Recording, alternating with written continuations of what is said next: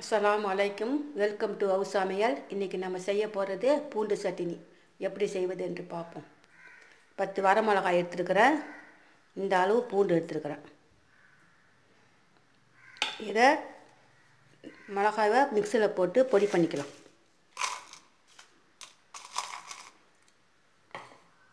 பூண்டை இந்த உரலில் வச்சு நல்லா நைஸாக நசுக்கிக்கலாம்.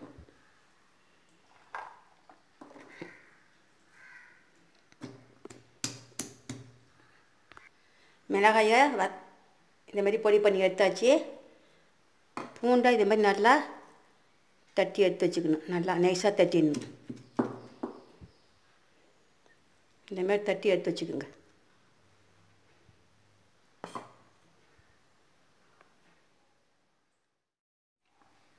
அடுப்பில் பாத்திரம் வச்சுக்கலாம்.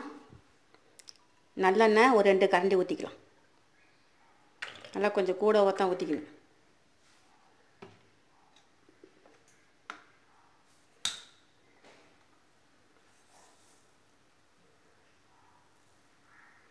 ஒரு ஸ்பூன் கடுகு சேர்த்துக்கலாம்.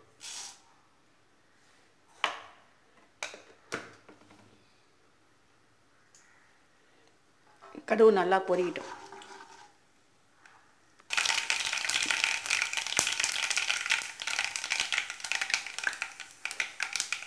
கடுகு நல்லா பொறிஞ்சிடுச்சு. இப்போ தட்டி வச்ச பூண்டை சேர்த்துக்கலாம்.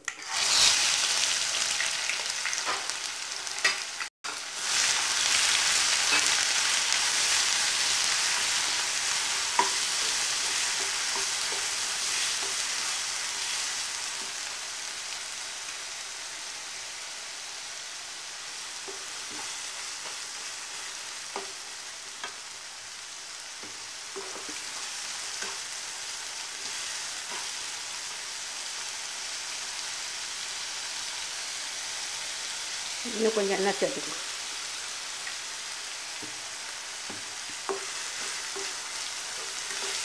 நல்லெண்ணெய் தான் சேர்க்கணும். அதான் ரொம்ப நல்லாயிருக்கும். நல்லெண்ணெய் சேர்த்துக்குங்க.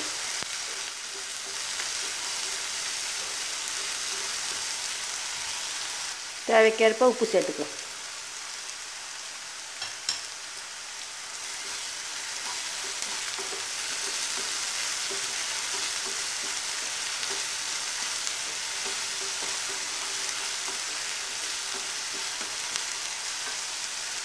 நல்லா ரெண்டு நிமிஷம் வதவிடுச்சு இப்போ இந்த பொடி பண்ணிய வரமிளகாய் சேர்த்துக்கலாம்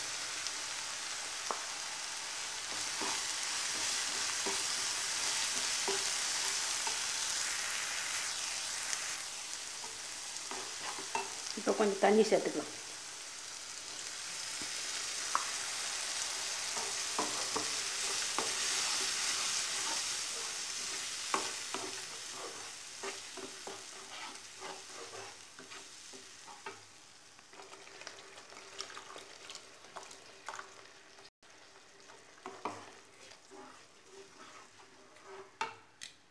நல்லா கொதிக்கிட்டோம்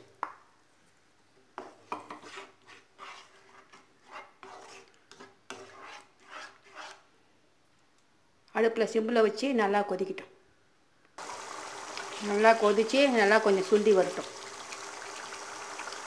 ஒரு மூடி போட்டு விட்டுடலாம் நல்லா சுண்டி வரட்டும். இப்போ திறந்து பார்க்கலாம்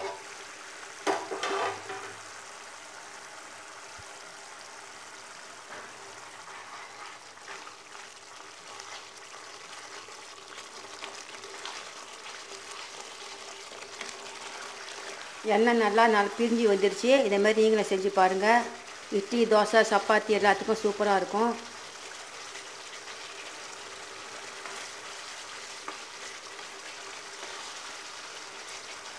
அஸ்லாம் வலைக்கம் வரமத்துல வரகாத்து